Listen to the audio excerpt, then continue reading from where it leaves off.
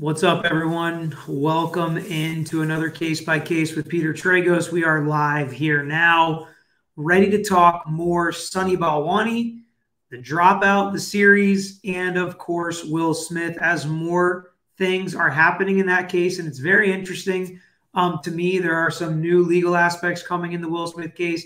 There are some conspiracy theories that cross over the legal realm and what's happening in the legal world and how that can give us an indication as to what's really going on. So we'll break that down um, in today's video, as well as Sunny Balwani. Pete is going to join me any second now to dive into week two of the Sunny Balwani trial and an update on the dropout series, what we think is going to be coming there and how it could affect that trial.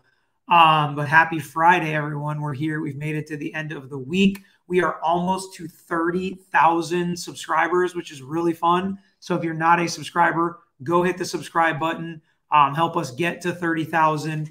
Um, and as always, if you enjoy the lives, like the video. As we go through each case, we are going to talk um, first about Sunny Balwani and the dropout. Then we're going to answer a bunch of questions. We'll do that segment first, and then we're going to do the Will Smith segment second, where we talk through what's going on with Will Smith. We answer questions at the end as usual. Thank you, Helen, um, for the compliment on the uplighting. As you can see, we're here in our little live set that we do. I still have the couch over there to do the recorded episodes, um, but this is kind of just a fun little different setup uh, for the lives. So when Pete gets here, what we're going to talk about is he's do, he has already done an in-depth week two recap of the Sunny Ball Balwani trial.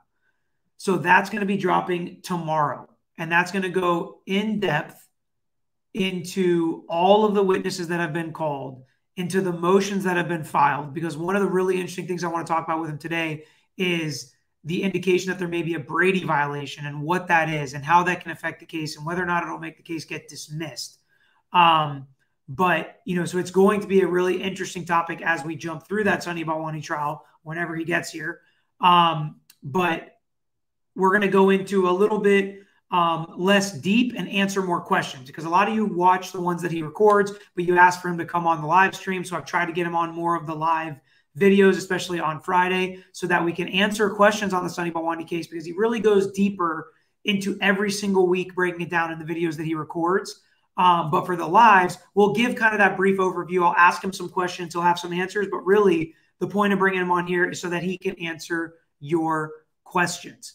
Um, and I see some people commenting on, yes, the case by case merch. This is uh, the design that was done by one of our uh, subscribers, and it is on our merch website. Go check it out. Um, Brandon Good, who said you love the sweatshirt, we'll have to pick one up. Definitely, they're available. We'll put the merch link in the live chat as we always do.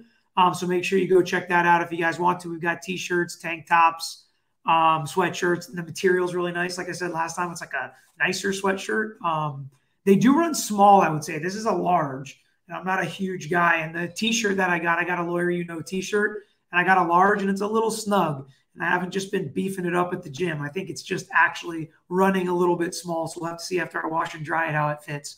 Um, but so yeah, I would say things run a little bit smaller. So if you're not sure of your size, go a size up. We've got people from Minnesota in here, multiple people from Minnesota, lots of people from Minnesota. Yeah.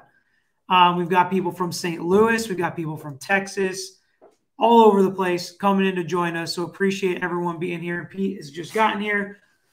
So we are going to jump into uh, Sunny Balwani, the dropout, the trial, what's going on. I mentioned that tomorrow your more in-depth video will drop, but for today, mm-hmm give us kind of a brief overview of what's going on in the trial, what's happened week two, the highlights. All right. The basic highlights are these. Uh, there have been two witnesses that have taken the stand, both of which are former lab directors. One is Erika Cheung, who was the whistleblower. So she had a couple of days of testimony.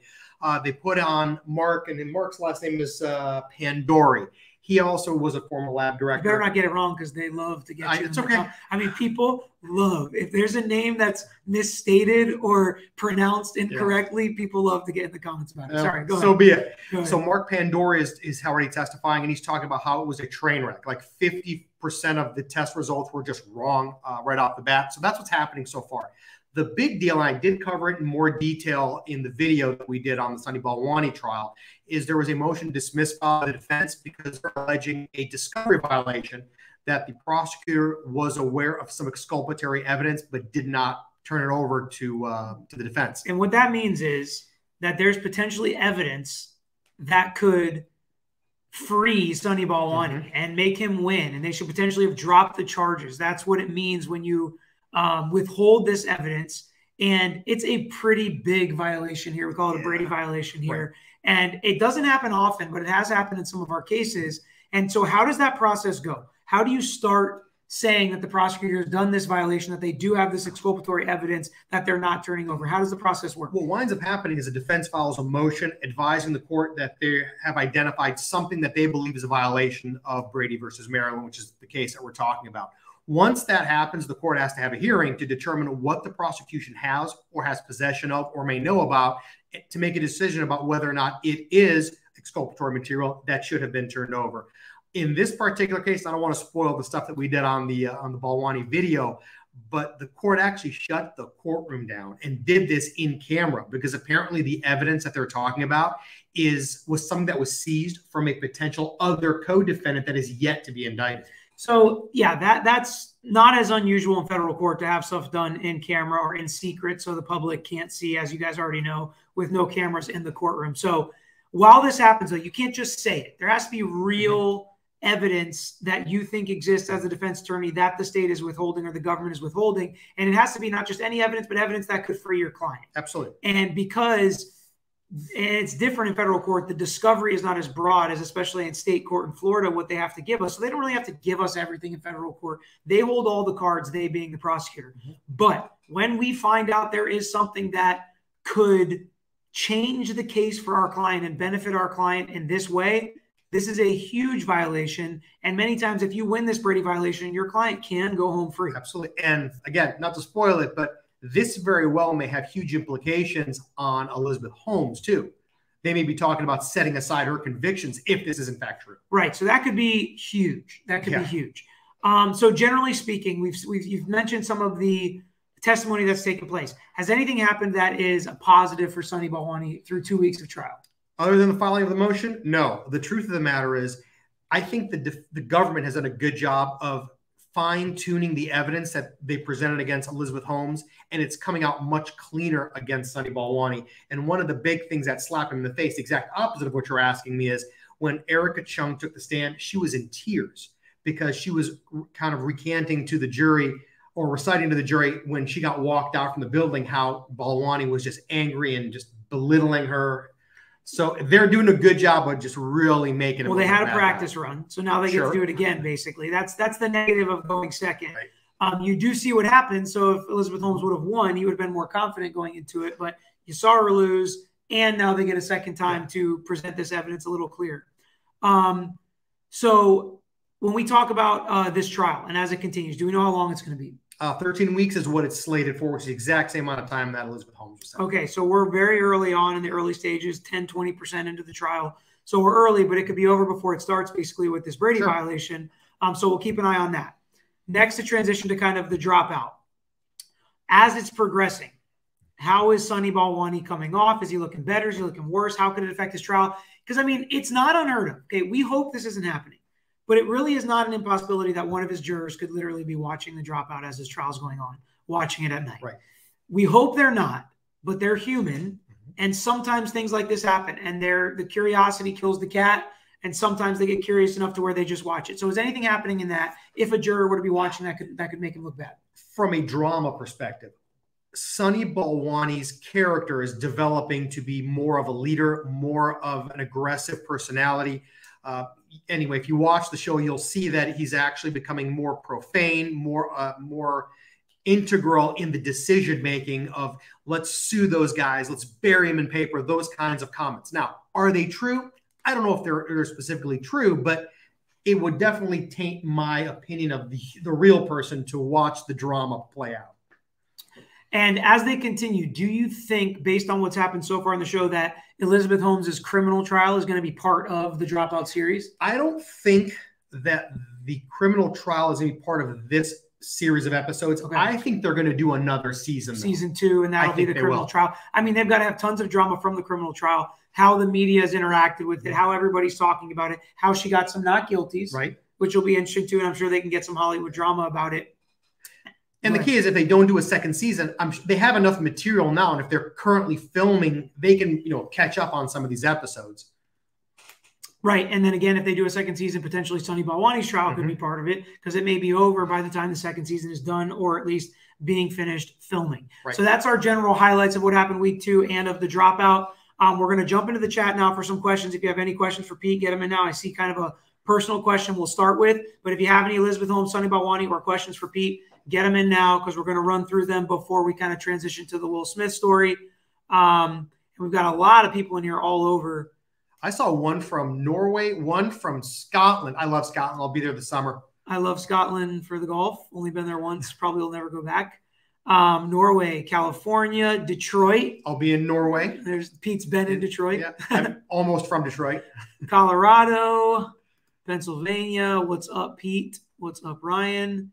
Scotland, Texas. Very cool. All right, Ryan has a question for Pete.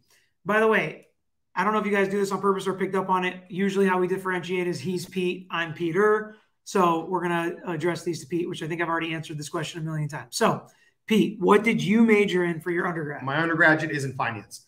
Okay. And because it's in finance, explain a little bit about how that made your decisions in law school a little bit different than mine. What'd you do in law school and how did that affect it?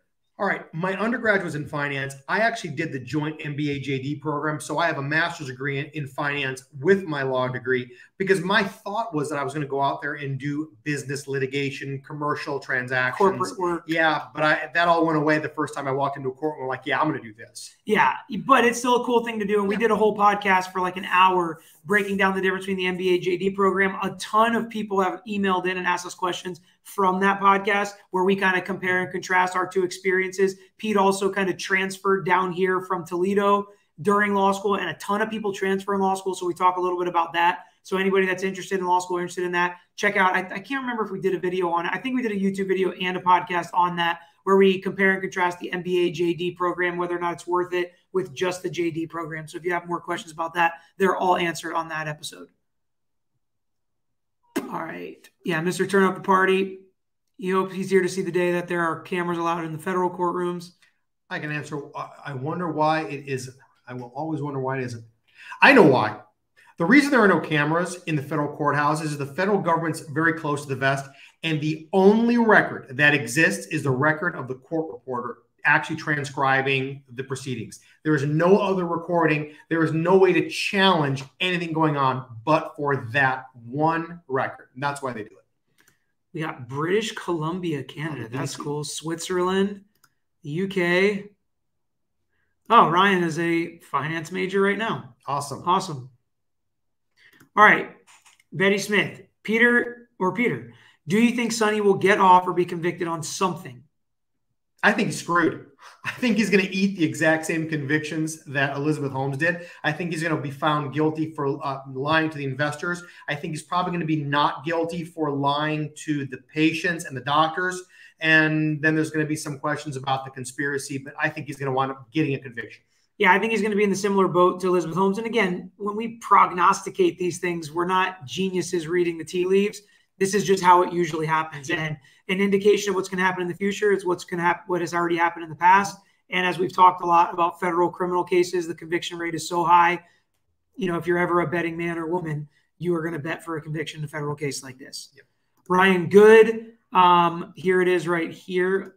Can I show my own comment? Yeah, perfect. Is MBA JD worth it? So here's the YouTube video. It's in the chat for anybody that wants to do that or check that out. Emily from Virginia, Scott living in South Africa. That's Wow. interesting.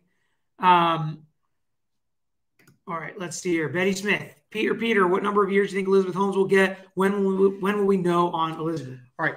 At this point, Elizabeth Holmes' sentencing is scheduled for September. Um, I did a video on the sentencing guidelines on Elizabeth Holmes. You can go take a look at that. It's one of the Elizabeth Holmes uh, series, and she scores pretty much off the chart based on what uh, what the conviction is and the amount of money involved in this loss. So I think she's going to wind up getting a downward departure, but she's going to eat a bunch of years. My gut says she's probably going to be in that 10 year range. She scores, like I said, off the charts. Do you think Sunny Balwani will get more or less than Elizabeth Home or the same? I think he'll get the same.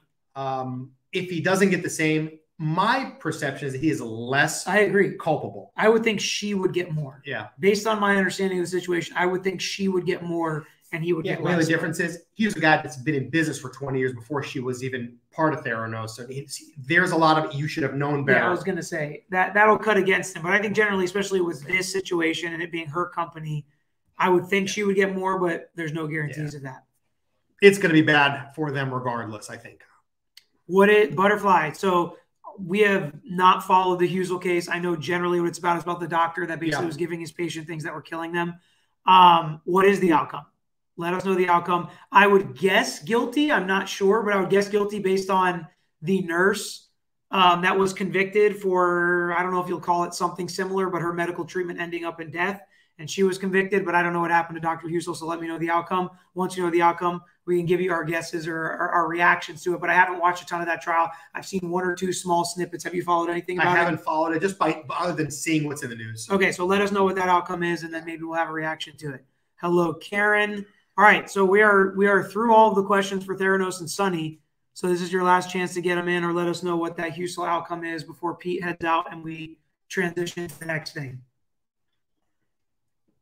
So as we said, tomorrow morning, I believe, which we don't post a ton of videos on Saturday, so that's going to be fun. It's kind of going to be a test for us. So check it out on Saturday. Make sure you hit the bell on the video and subscribe to our page. Um, yeah, that's what I thought too, Brandon. But so hit the bell on our page if you subscribe so you get the alerts because we're going to do some testing on maybe some weekend videos. This is going to be one of the testers is now that week two is finished, that video has been recorded and we're going to post that Sunny Balwani video on Saturday. So make sure you check it out. And if it's some unusual times, that bell will let you know when the video is going to start.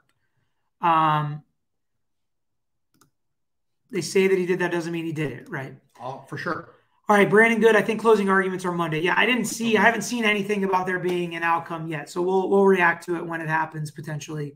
Um, last question for Pete. I've seen the emails of Sunny bullying lab guys into submission. Are there any from Lizzie doing the same? That's a great question. I believe that people testified in in her trial that she was she would basically tell them this is how it's going to be. I'm in charge. Go do it, or don't talk about this. Do talk about that. So yes, I would suggest to you that there is testimony that uh, uh, that Elizabeth Holmes was bullying people. All right, this will be the last question, Ryan.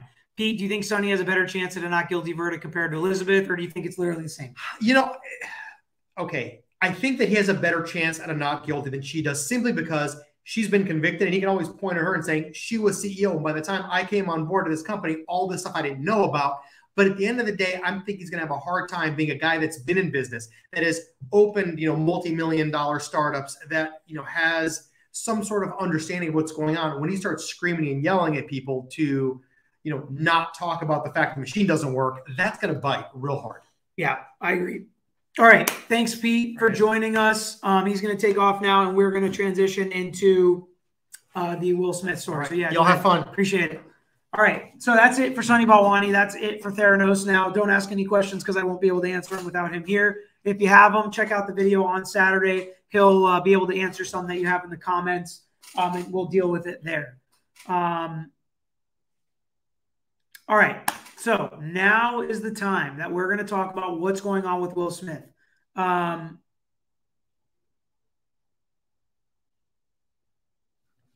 so Michael Palmer just threw this question out that I want to get to before we talk about Will Smith. Aloha, Sammy.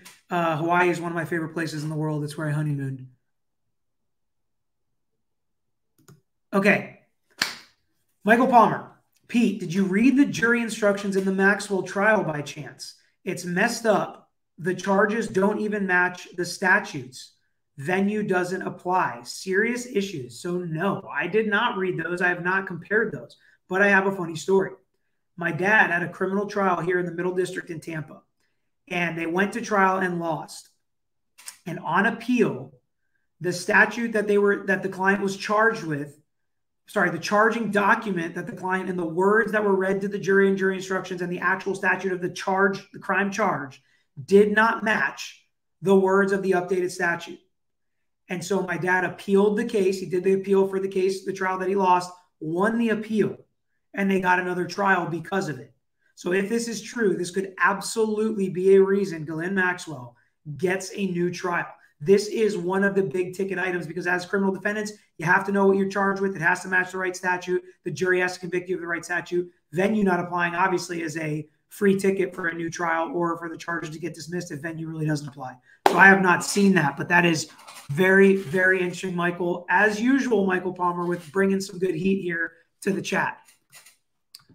All right, let's jump in now to Will Smith. If you haven't subscribed already to the page, take a second, go subscribe, please. Helps us out. And we're trying to get to 30K. We're trying to get to 50K by the end of July, which I think we're a little behind on. So if you haven't, then uh, go subscribe, please. All right. So, stuff's happening in the Will Smith case. Some of it legal, some of it not. We're going to talk through some of the things that are happening that I find interesting. We'll talk about some of the best um, conspiracy theories coming from it. And then, of course, we'll talk about a lot of the legal crossover still that could come forward on this case. Um, we all have talked through and argued about whether it's real, whether it's fake, whatever it may be. But there are some very interesting aspects of this case that still leave people wondering. Um, you all gave me videos in the last uh, video that we did. You put in the chat, hey, go watch the video Will Smith slaps a reporter. Go watch the video when Will Smith was on Arsenio Hall and made a bald joke. Well, I did that. I looked at all the links. I watched all of the videos. Um, and my four girls, I will get to the questions at the end and I will answer your questions. Um, and I watched all those videos and I agree with you. It does seem hypocritical. It doesn't seem like a great look for Will Smith. On Arsenio Hall, he clearly makes a bald joke to some guy in the audience. Same exact kind of setup. It was a different joke. Same exact kind of setup of Chris Rock making a joke to Jada Pinkett Smith. However, Will Smith, even in that video, says, Come on, it was just a joke. So somebody may have given him a look or something for the joke he made on Arsenio Hall, and he says, Come on, this is a joke similarly to Chris Rock doing that when Will Smith got upset about the G.I. Jane joke. Now, on the other hand, Will Smith slapping the reporter, I didn't think was quite as horrible as some people were making it sound in the chat. It's not great whenever you put hands on people, but I do think the reporter took it too far physically hugging and kissing on Will Smith when he didn't want him to. And it was just a little tap. It wasn't a full swing slap across the face like he did to Chris Rock. Although not a good look if you have other bad acts in your history, like Will Smith slapping somebody else then it's not good when you slap somebody on national TV. Okay. So the next part is people commenting about what's happening. And you have comedians like Jim Carrey coming out saying he would sue Will Smith for hundreds of millions of dollars. We cannot set this precedent. It's bad for comedians, bad for comedy clubs, bad for award shows. All the things we mentioned in our very first video, video the morning we had it, reacting to what happened last night before anybody else was talking about it everybody seems to be on the same page, which I think is really interesting. Is all these people do not want the precedent to be set and it to be a bad precedent. Um, a lot of actors, especially comedians, are coming out saying we don't want the floodgates to open for people thinking they can just walk on stage. Same thing with streakers or people running onto fields. They get tackled by security for a reason. We want to protect the people that are working. You know, the athletes, the NFL, NBA guys are there working on the field or the court. We don't want them to get injured. Chris Rock was working on stage and we don't want him to get injured and have to worry about that or deal with that. Um, Joe Rogan made a good point. For all the people that are standing up for Will Smith saying, yeah, he stood up for his wife, he's really willing to stick his neck out on the line and do whatever it takes to defend his wife. Joe Rogan said, in reality, Will Smith got up, slapped the guy that was smaller than him, knowing security wasn't going to do anything, knowing he wasn't going to get thrown out, knowing he wasn't going to get arrested. So, what did he really risk going on stage and slapping Chris, Chris Rock? Which is an interesting thought. Did he really risk something defending his wife? If this was in the back of a dark alley and somebody said something to his wife, would he have done the same thing when there was real consequences on the line? Interesting. Just interesting to hear these different perspectives people breaking down what they think and feel about this situation. Now, when we get to some of the conspiracy theories, because a lot of people are still out there saying it's fake. I've had people come in the comments and say, I'll stop watching your channel or listening to your channel if even 1% of you thinks this was fake. Only a fool would think this was fake. Okay, then call me a fool if you'd like. 1% of me. I still think it was real. I absolutely think it was real. And I think some of the stuff we're going to talk about after about what happened backstage and what the Academy is doing now absolutely makes me think that this is real. But if you watch the different angles of this video, and I think Michael Rapaport posted a video of Jada Pinkett Smith right after the slap happened, she laughed. Right after the slap happened, if you watch Will Smith as he turned around to walk away, it looks like he's smirking or laughing. Will Smith, as everybody's already pointed out, was clearly laughing when the joke was first told. And not until the keep my wife's name out your effing mouth was screamed multiple times and Chris Rock responded with, bro, it was a G.I. Jane joke. Not until there did it kind of feel like, no, this is actually real. And I do believe it's real. I absolutely believe it was real. But I think that there are some things, some ang- angles, some camera angles and videos that are make me think like this doesn't all make sense and it doesn't all add up. And people are actually using the legal crossover now as an additional point to this conspiracy theory. And I'll kind of explain it to you as somebody explained it to me when they asked me. So we've already heard Chris Rock is not pressing charges. And it's been confirmed that in California, actually, the state attorney does have discretion to press charges without the victim, although they don't likely or they don't often do it. It doesn't seem like they're going to do it in this case. So, one of the reasons Chris Rock might not be pressing criminal charges is because it was a hoax. And he, and I'm not saying this is me, I'm saying this is the conspiracy theory, is because it was a hoax and he does not want to find himself in literally the same position as Jussie Smollett. Everybody's on his side right now. But if he calls the cops, says it was a hoax, and Will Smith said, you know what, cat's out of the bag, this was all fake, we did it for publicity or whatever we wanted to do it for, now Chris Rock could have criminal charges coming against him. He doesn't want to open himself up to get Jussie Smolletted. And so that's why he hasn't pressed charges or, um, you know, gone after him criminally or civilly, gone after Will Smith. Okay. Once again, I don't believe that. I don't agree with that. I think it's an interesting conspiracy theory. Um, I actually think the real reason Chris Rock is not pressing charges is because he doesn't want to seem petty. He doesn't want to seem like an opportunist. He doesn't want to seem like a jerk. He's trying to take the high road. He's trying to be the bigger man. He's trying to, you know, he hasn't come out and said, there was a fake apology that came out from Chris Rock saying, sorry for what I said. I really apologize. I didn't mean to hurt feelings. So he hasn't really done anything like that, which I think is a good move for Chris Rock at this point because he was doing his job. He made a joke. Did the joke cross the line? Maybe. Should he not have said it? Maybe. That's something that could have been handled afterwards. Um, he did not deserve to get struck in the face. I think most of us can agree with that. So I think the real reason he hasn't pressed any charges or gone after him is he doesn't want the hassle. He doesn't want the backlash. He doesn't want people calling him a cupcake or soft or things like that. Like, big deal, you got slapped because you talked about a man's wife. He didn't want all of that. Um, he wanted to take the high road. That's why I think he's not pressing criminal or civil charges at this point. Mel, I don't think he should apologize. That's my point. Other people have said he would, and a fake apology came out. So, there have been reports about the academy stepping in. So, what can the academy do, legally speaking? And how could it maybe solve this problem that a lot of society is having with Will Smith is not getting punished for what he did like anybody else would, and we think he should be punished for this. So the Academy first came out and said they told Will Smith to leave uh, to leave, and he was very aggressive and refused to leave. Well, now multiple sources are saying that they had multiple meetings. Somebody came out and told Will that the consensus was, and what we all decided is that we want you to stay. So he ended up staying and he won the award and gave the tearful speech and got a huge platform and more time than anybody else that one got to got to speak. So the academy comes out and says they have to leave. Now it turns out, well, maybe that wasn't true. So the academy is taking another step now and saying that they are going to do a few things. And I'm going to read them as kind of a list. First, they have officially condemned Will Smith's behavior. Second, they are now citing their bylaws and opening an investigation as to the appropriate action for Will Smith, not punishment, but the appropriate action. The investigation will take a few weeks. They ask for respect during the process, and it's going to be an expedient and respectful process that they run.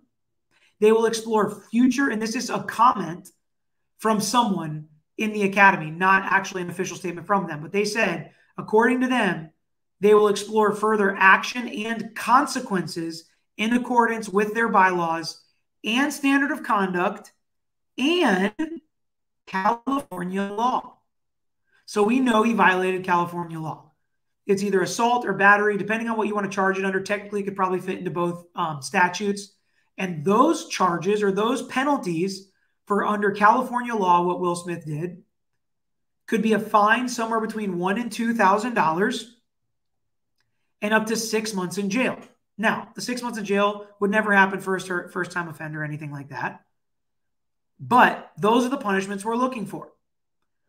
So, what do we think? And let me know in the comments. What do you think the Academy will actually do as a consequence or punishment to Will Smith? Because it seems like they're our only option at this point. Doesn't seem like Chris Rock is going to sue them. It doesn't seem like law enforcement is going to do anything because Chris Rock doesn't want to press criminal charges and they're not likely to do it without cooperation from the victim.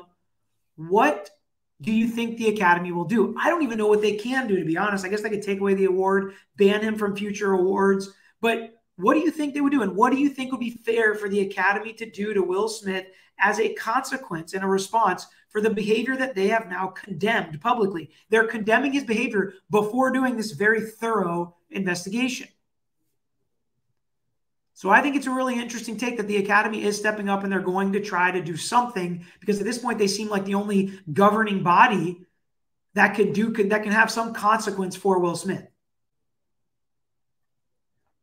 What else has the Academy done?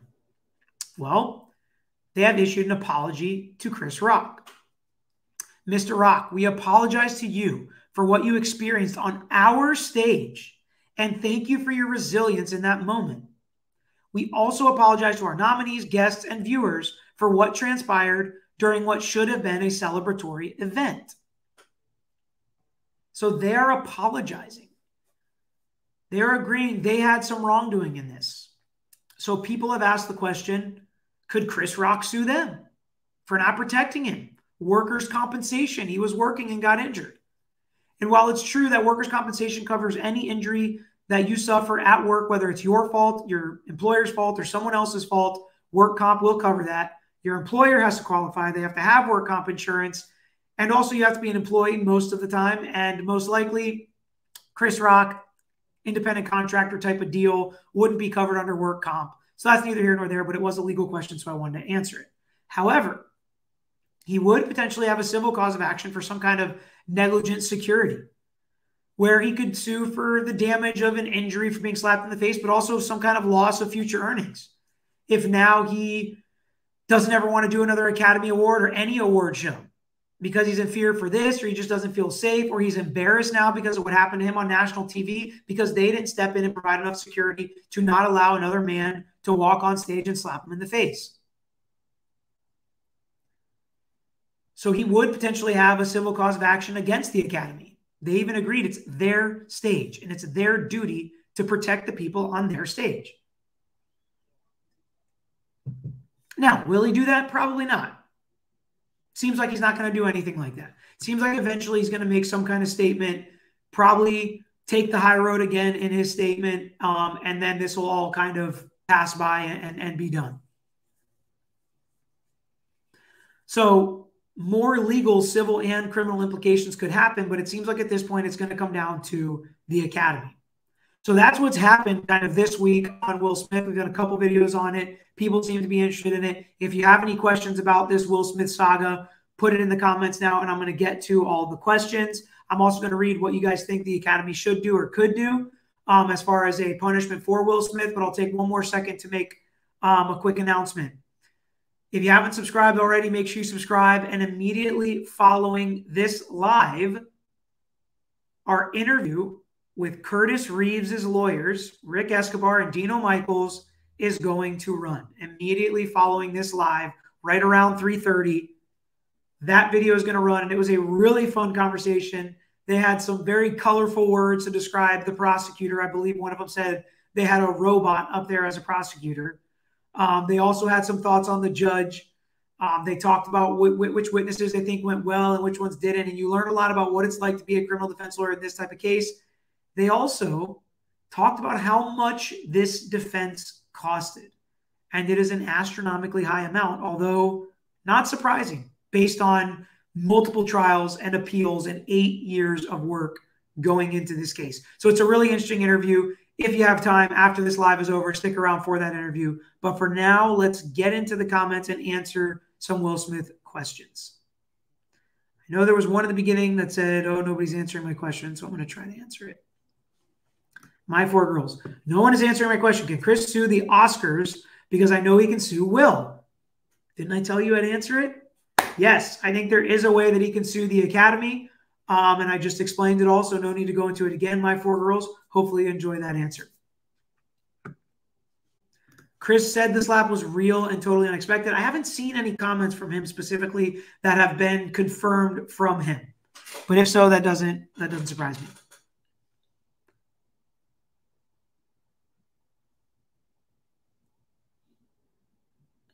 All right, the Academy should take away his Oscar.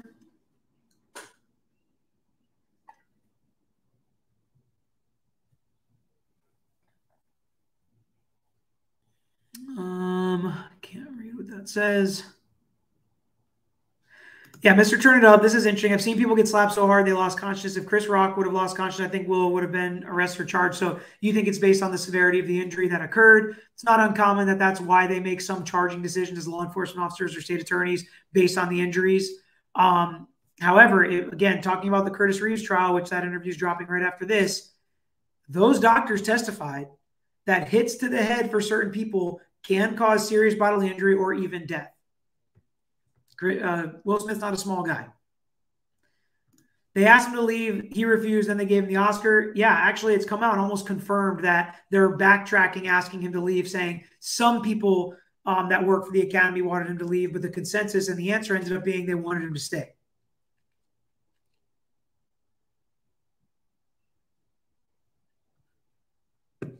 Some people saying no way it was not. There's no way it was fake. Other people in the chat said it was fake. I'll see if I can uh, show it. Brianna install a fence around the stage. I mean, if you think about concerts, they'll put up those fences sometimes so you can get really close, but not close enough. But that's the whole point. You're supposed to be among brethren here. You know, you're all famous actors and actresses. You should be able to trust people like Will Smith sitting in the front row with no fence in front of him. But obviously, we can't. Pretty crazy. Some people say it was staged. Most people think it was not staged, and I agree. I don't think it was staged.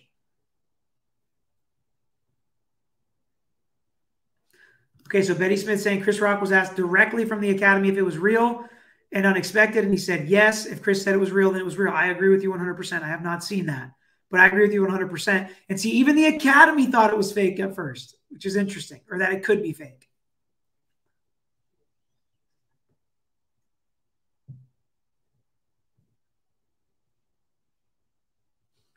Being violent as a host is bad business. That's correct. That's Jussie Smollett.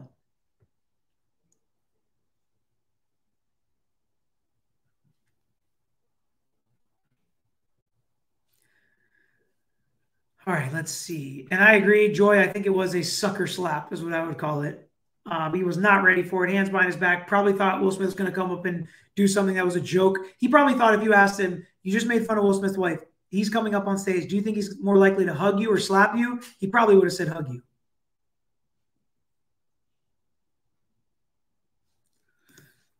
Correct, Brianna. Yeah, so I had some guy that was in law school or, or a California lawyer say, oh, that never happens. That's impossible. It's not true. I've read up on it, and it seems like, and I don't want to guarantee because I'm not a California lawyer, but it seems like just like in every jurisdiction, the state attorney can press charges without the victim's cooperation or without the victim wanting to press charges. Now, does that mean they always do? No. It's very difficult to prosecute a case if the witness is not going to cooperate. You can understand why, especially if that witness is the victim.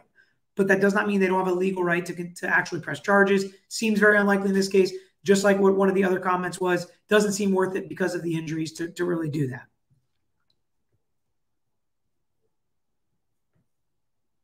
The Academy should revoke Will's Oscar.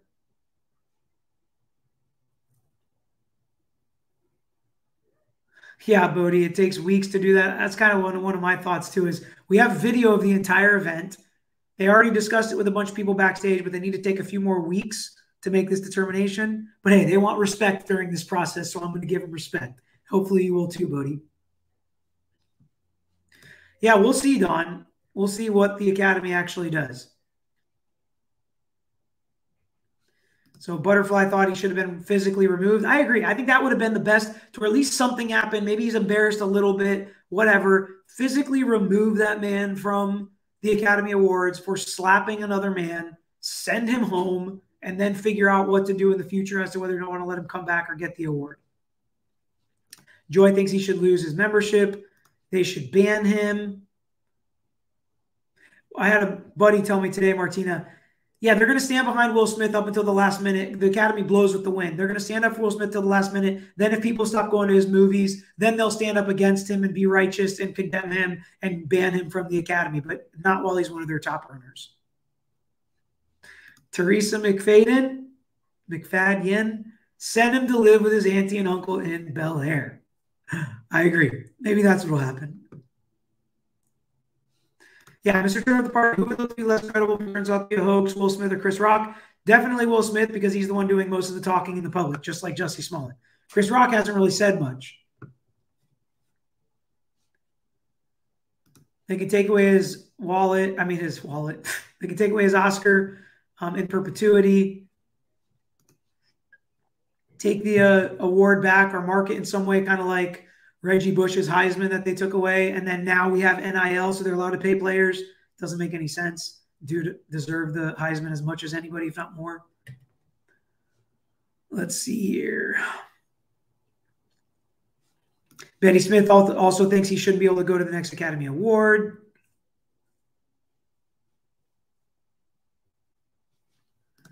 Sammy needs an alibi. Take away the Oscar. Give it to Rock for courage under distress. That's interesting um, and kick him out of the Academy and Actors Union. Southern Sass, they may do something, but it's probably not going to be enough in the public eye. Katie doesn't think the Academy will do anything. So it seems like the consensus here in the chat is take the award back, ban him from at least one more, one future next year Academy Awards, um, that's what it seems like the consensus is. And some other people think he should just be totally kicked out altogether.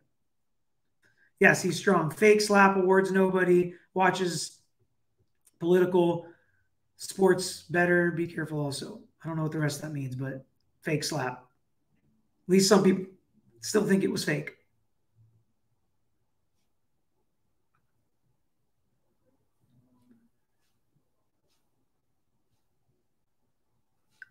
Yeah, Callie Dunn.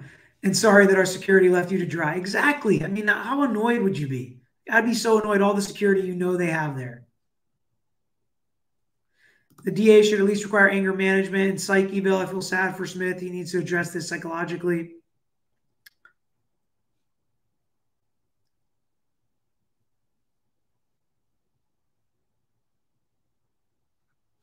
Yes, Don. Reeves lawyers coming up next yeah, I see some some stuff about the weird relationship between Will and Jada. I'm going to stay away from that, although I've watched some videos on it and it seems weird.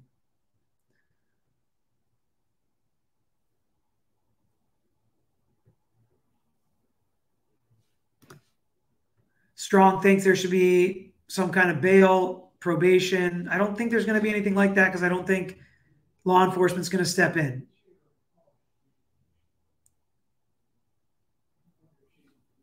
Yeah, again, Mel, not only did they not protect Chris Rock, but they also wanted Will Smith to stay, according to reports.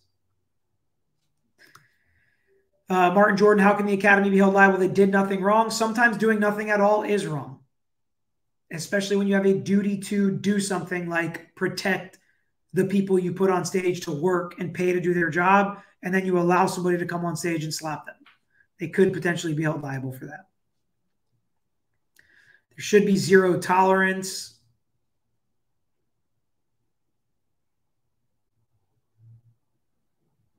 If it was fake, it was the best acting job ever.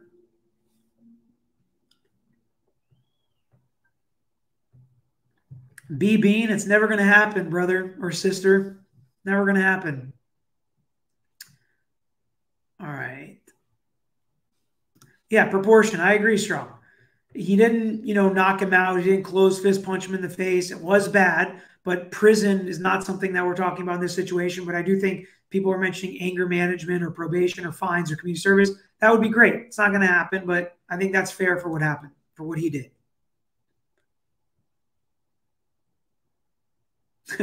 My four girls, he should let Rock slap him back on national television. Interesting. B Bean, have you ever been mistaken for the actor in The Passion of the Christ? Jim Caviezel is his name. And what's really interesting about the answer is no, although I can see it. Um, and I tell people when they ask me, they tell me I've, I've, got the Jesus haircut now. I say, just trying to be more like him on the inside and out. Um, but interesting fact about Jim Caviezel, who did play Jesus with brown eyes, obviously, because Jesus was more Middle Eastern than um, anything else. Uh, Jim Caviezel has blue eyes, which I do not. Um, and he played in that movie Angel Eyes, which his blue eyes were made famous for, and they had to put brown contacts in. I don't know why. I just thought that was a fun fact. Let's see what else we got.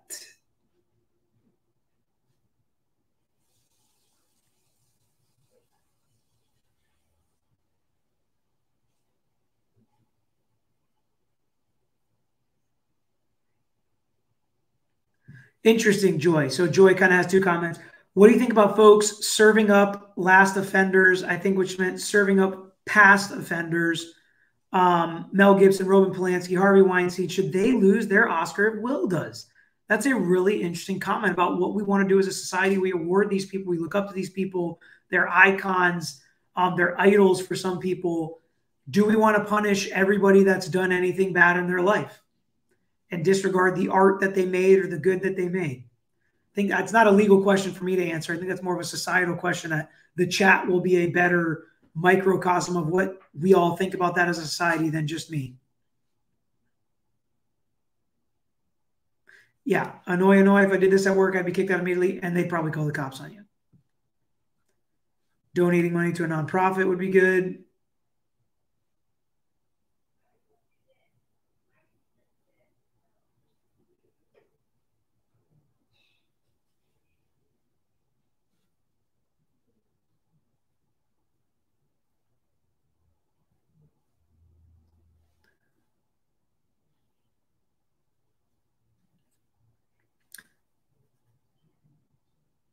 So a lot of people saying like they think he was already angry with Jada and all that stuff kind of climbed up to that. So that will end our segment on Will Smith.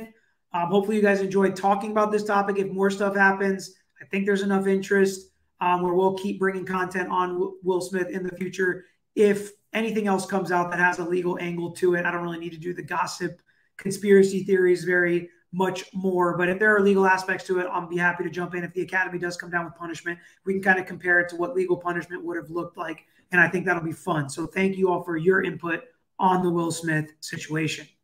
But now is the time in the video where we do more of an AMA. Ask me any kind of question you want. It can still be about Will Smith. It can be about other cases. Um, and I'll answer as many of questions as I can over the next five or 10 minutes before we get to the Curtis Reeves lawyer interview. Stick around for that because it is really interesting. And I want your comments and questions in the comments because I can reach out to them anytime, talk to them, ask them questions that you guys have. Um, if there are more questions, they were able to be a lot more open and talk more specifically about the trial than Crystal was because there's no appeal, obviously, in that trial because they won, and Crystal is still dealing with appeal. That's probably going to include an effective assistance of counsel. So it was a little bit different. Yes, Don, we are not done yet.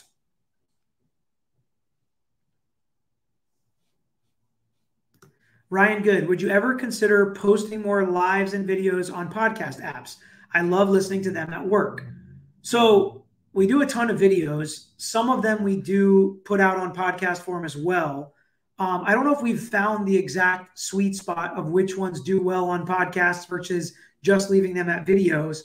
Um, but Yes, the answer is yes. We will post more on podcast just for you, and I will look into with my uh, marketing coordinator how to do that, and we'll just put more out there. And who cares if not as many people listen to them on podcasts? We've already created the content. We might as well take the audio, put it on podcast for people like you who just like listening at work.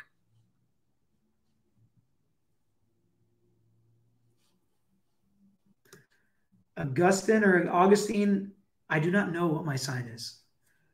I have no idea. Why did you pick FSU over UF? So lots of reasons. Can I just say that it's better? Um, the actual reason, okay, the God's honest hand on the Bible reason is my dad went to Florida State double grad. I grew up just living for Florida State football on Saturdays, crying when we lost, celebrating when we won as a kid. We went to games. My birthday every year, we'd go up Tallahassee, go to games. Um, I take my kids now, and that's really why it was like bred in me, and it's the only place I wanted to go. I applied to one college and one law school, got in, didn't care about anything else. Um, it's the only place I wanted to go. So that's why I chose uh, FSU, and I've loved it. I love going back and going back as often as I can. I have a place there.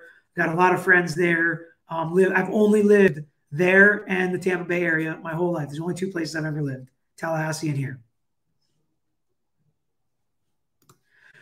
Riley, if I'm in a deposition, I have an NDA. Can I break it and can the company come after me? That depends on what the NDA is. I can't give specific legal advice in these answers.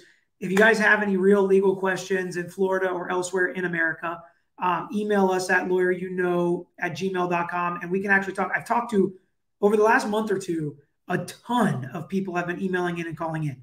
Now, I can't always get to them immediately, but I almost always get to the questions that you have if I can provide an answer or help, either by email or setting up a call or having my office set up a call. So I have gotten in touch with a ton of you. So I appreciate you calling. It's been really fun. We've signed some cases from subscribers that watch and have just found us on YouTube, which is really fun and cool because it feels like we already kind of know each other and have a relationship, which is fun. Um, but generally speaking, with NDAs, they have to have teeth.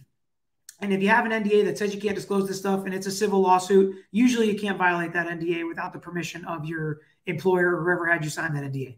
But certain NDAs have no teeth at all. Like sign this NDA before you can come to my house and you can never talk about what happens in my house. You sign that NDA, but there's no teeth. And what are they going to do to you if you actually do talk about what happened in their house? Sometimes you can get around an NDA like that and it doesn't matter. But if there are trade secrets or some way you make them lose money by violating your NDA, then they could probably come after you and sue you for those damages. So it's not a good idea to ever violate an NDA. If you do feel like you have to in some kind of case, then ask a lawyer before you do.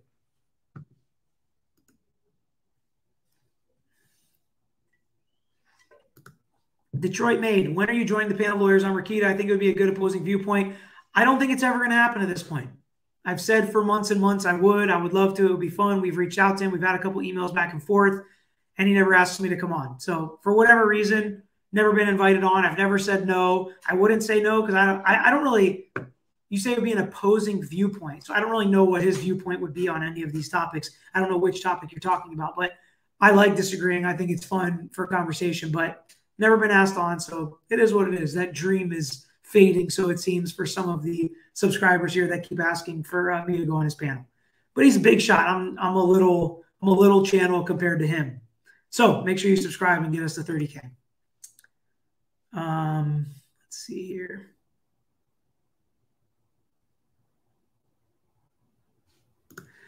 Grump, Texas. When and how often do you do live shows on YouTube? I usually do one a week on Friday.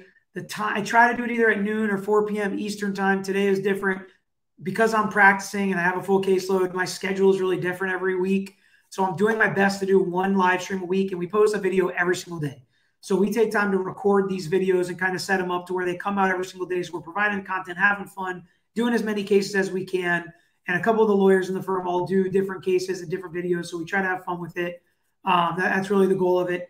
I'm not sure if I'm on Rumble or anything else. I don't think that I am. Um, I don't control all of it though, because um, I have some people that help me with the channel as well. I agree. Green Beagle podcasts are awesome. I listen to them all the time too when I'm driving. If I'm hitting range balls, um, I have them in my you know ears and just kind of listen to podcasts. Most of them are sports or legal type podcasts.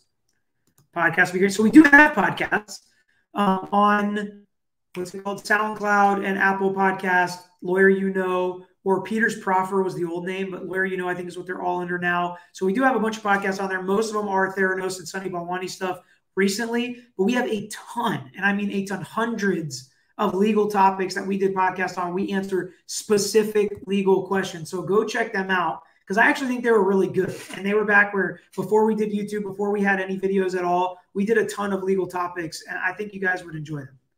I'm guessing you're a Libra. I'm not sure. Joy, thank you. I love comments like this. You and your partner, Peter, great. Enjoy your channel. Haven't watched your dad yet, but you are the types of attorneys I respect. Thank you. That's our goal, honestly. That's our goal. We like to have fun with it, but we're not going to be embarrassing and we're real lawyers and we want to keep it that way. Um, and people always ask me, do you think this is going to come back to bite you if a judge sees it, another lawyer sees it? No. Everything I say, I would say to a judge, I would say to another lawyer. I've had these conversations with judges and lawyers, and it's fun. It's fun to get a different opinion from just the the public at large, which is what you guys are, the potential jury pool. That's what I really like as far as the people that come and content con comment and give me their point of view and their opinion. That's what makes it so fun.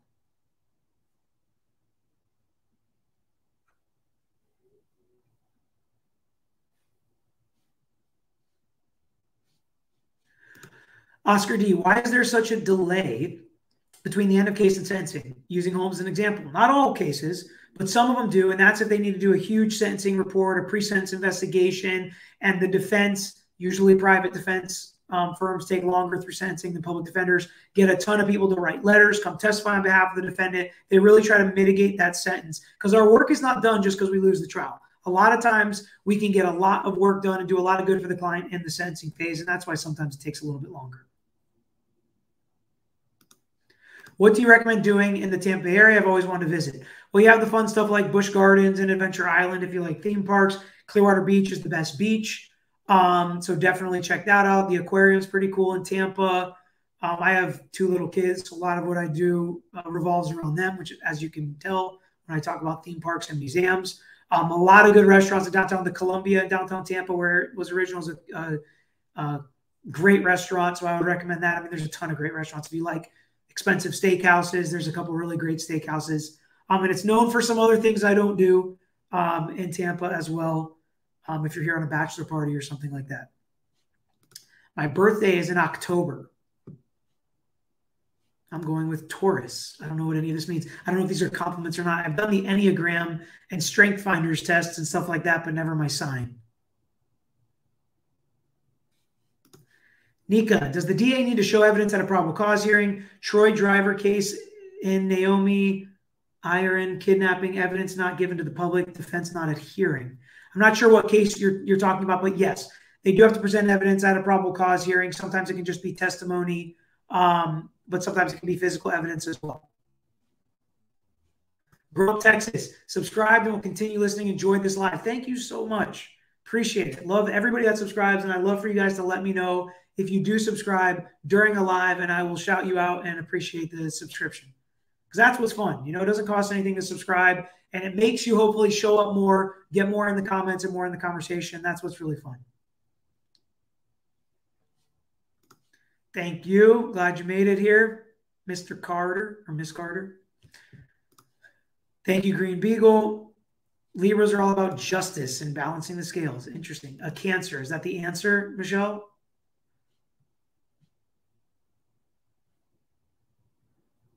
Let's see here. Did you ever meet Bobby Bowden? Yes, I did. I've got some signed footballs by him. I met him a couple times. As great as you could ever imagine. I actually have a picture signed by Bobby Bowden and Steve Spurrier. Um, and it's like a, a Seminole Indian fighting a gator with a spear. And then I have two smaller pictures in my man cave of them it's a picture of Bobby Bowden signing the picture and a picture of Steve Spurrier signing the picture. And then I also have the big signed picture. So it's kind of a cool little thing with Bowden and Spurrier. As Peggy, you should do a collab with Emily Baker. She's a former prosecutor, and I would love to see her different Vion criminal cases. Would love to. There's nobody really I say no to that's another lawyer that wants to talk legal on a podcast. Thank you, Dawn. I appreciate it. Not sure people care what I have to say about the NFL. All right, let's see here. I did tell you my birthday, October. The date, uh, October 16th is the actual date. Brianna says you can't disagree with Rekieta and expect to be on his show. I don't know. Here we go. Here's our podcast page.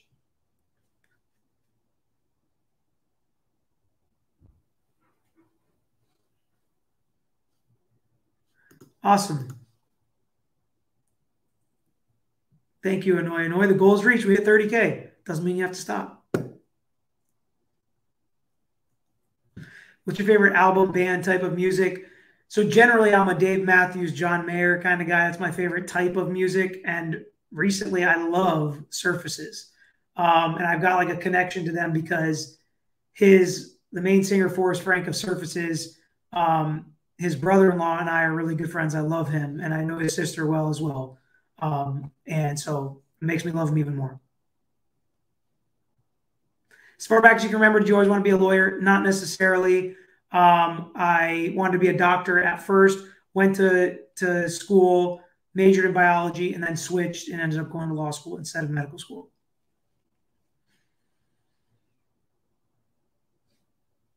Sammy, October 15th. Well, glad you asked, brother. We're almost same day. Um, okay, then you must be a Libra. Okay, Libra, I guess is what it is. So a defendant in a criminal case will always show up. I mean, they can waive their appearance technically, but it's it's very rare that that would happen. In a civil case, defendants don't show up all the time. Butterfly. I was actually a Brady fan all the way. I'm a, I played quarterback in high school. Was always a wannabe quarterback, so I love quarterbacks. Always been a Bucks fan. So when Brady, actually when Jameis Winston came to the Bucks, I was like tugging at my heartstrings because he's one of my favorite FSU players of all time. Then coming to my NFL team, when Brady came, same thing. One of my favorite NFL quarterbacks of all time um, coming to my hometown team. So I love Brady and Gronk as well. How can you not like Gronk? Subscribed ages ago. Good. Now that would be cool, Ryan. That would be cool. I'm a Bucks fan, Lightning fan, Orlando Magic fan, and Tampa Bay Rays fan.